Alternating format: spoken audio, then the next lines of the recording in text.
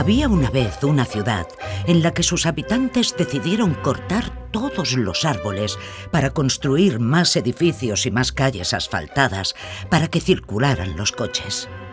Reunieron a los arquitectos más importantes del mundo y diseñaron la ciudad del futuro. Pero pronto se dieron cuenta de que habían cometido un gran error porque ese año hizo muchísimo calor en verano y como no había árboles y todo era asfalto, no había ninguna sombra para refugiarse. El calor era insoportable. No se podía andar por la calle. Los neumáticos de los coches se derretían al tocar el asfalto y las terrazas de los bares estaban vacías porque nadie podía soportar el calor. Muchas pastelerías tuvieron que cerrar porque los pasteles de chocolate y mantequilla se derretían. Y lo mismo pasó con los vendedores de helados. Además, como no había pájaros que comieran insectos, las moscas y los mosquitos campaban a sus anchas. Y los perritos y los niños se aburrían muchísimo en esta ciudad porque no había palomas que perseguir. Hicimos una locura cuando cortamos los árboles, pensaban los ciudadanos. No éramos conscientes de cuánto los necesitamos y de las consecuencias de no tenerlos en la ciudad.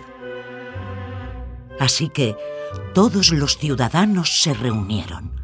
Levantaron sus ojos hacia el cielo y con los brazos abiertos pidieron perdón a la naturaleza. Y volvieron a diseñar la ciudad. Empezaron por cambiar las calles por donde circulaban los coches y, en su lugar, pusieron tierra fértil para que pudieran crecer los árboles y las flores. Construyeron nidos para los pájaros y residencias para animales más grandes. Unos ingenieros que habían estudiado en una prestigiosa universidad de Noruega se inventaron la manera de traer un río a la ciudad para que las truchas y los salmones pudieran nadar libremente.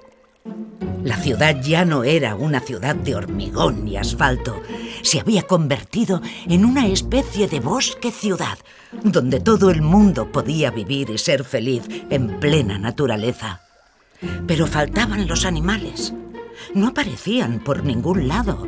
Los pájaros no venían a las casitas construidas, ni los peces aparecían por el río.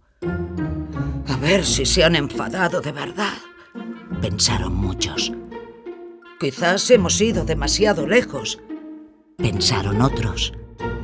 Hasta que un día, cerca de la Navidad, como por arte de magia, apareció un águila real que sobrevoló la ciudad y comprobó que los humanos habían cumplido con su palabra. Se habían esforzado y la ciudad había recuperado su alma y se había convertido en un maravilloso lugar para vivir.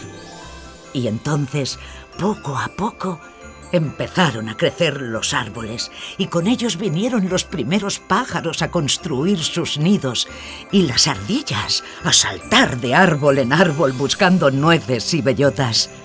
Muchos animales que nunca habían vivido en la ciudad decidieron también trasladarse a este nuevo hábitat.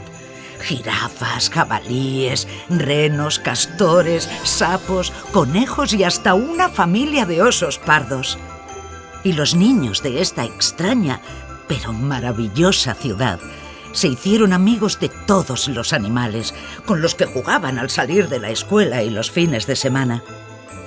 Y como todo estaba tan verde, se respiraba un aire puro, sin contaminación, porque además los ciudadanos se volvieron muy respetuosos con el medio ambiente y adoptaron unos buenos hábitos que ayudaban a que todo se mantuviera en equilibrio se desplazaban en bicicleta o en medios sostenibles. Los residuos se reciclaban. Nadie tiraba plásticos a los ríos y se eliminaron los productos que no fueran naturales.